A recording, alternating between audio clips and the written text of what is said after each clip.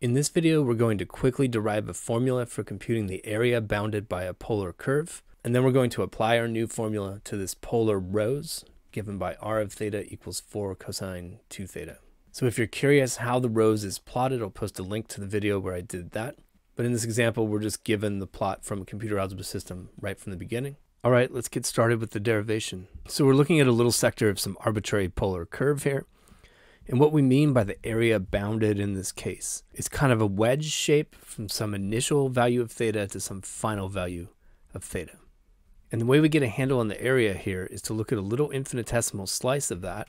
And we normally call that little area dA. There's a subtended angle in here that's also differential, and we'll call that d theta. And this little dA is well approximated by the area of a sector. Notice that it has a length of r for whatever particular angle we're at for this little sector. So if I look at the ratio of the area of this little sector to the area of the entire circle of radius r, it's dA over pi r squared. That's going to be the same as the ratio of how much angle is subtended here to the angle in an entire circle. We cancel the pi's, and we quickly find that dA is 1 half r squared d theta. Now we just add up the dAs to get the total area, and that's what integration does. And we can go ahead and plug in that we're going from some initial angle to some final angle, and we have 1 half r squared d theta. All right, that's it. We have our area formula now for polar equations. Let's apply it to our example. So first off, I want to integrate over the smallest interval I possibly can to simplify my life. And what I'm going to do is just split off half of one petal of this rose, and then we'll multiply the area of that by 8 to get the total area.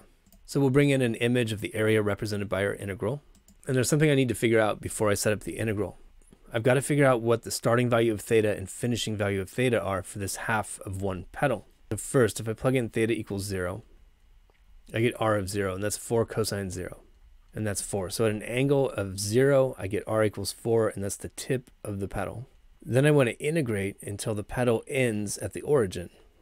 So what I'm looking for is the next angle where r is equal to 0. And the first time the cosine function vanishes is when its argument is equal to pi over 2. So I get 2 theta equals pi over 2. And this means theta is pi over 4 when this petal terminates. All right, so to get 1 half of one petal, we're going to integrate from 0 to pi over 4. Now I get my integral set up and I'm going to go ahead and put the 8 out in front. So I'm intending to multiply this thing by 8 at the end and I'm integrating from 0 to pi over 4 to get half of one petal. And inside this integral I have a 1 half r squared, but r is 4 cosine 2 theta. Okay, so inside the integral I have half of 16, which is 8. I'm going to pull that out and I get 64 out in front. And I have the integral of cosine squared 2 theta. And the standard approach to the integral of a squared cosine is to use the identity that it's equal to 1 half times the quantity 1 plus cosine of twice the angle. And twice the angle is 4 theta in this case. So I can bring the 1 half out in front. That gives me a 32. And then I have to integrate 1 plus cosine 4 theta. And the integral of 1 is just theta. And the integral of cosine 4 theta is basically sine 4 theta. But to account for the chain rule backwards, I need a 1 fourth in there. So now this now when I differentiate 1 fourth sine 4 theta, I get cosine 4 theta. And then I'm going to evaluate from 0 to pi over 4. If I examine that sine 4 theta term, the upper limit is going to give me the sine of pi, and that's 0. The lower limit is going to give me the sine of 0, and that's also 0. So that whole term is gone. All that's left is to sub in the upper limit for theta. And I get 32 times pi over 4, which simplifies to 8 pi. And we're done.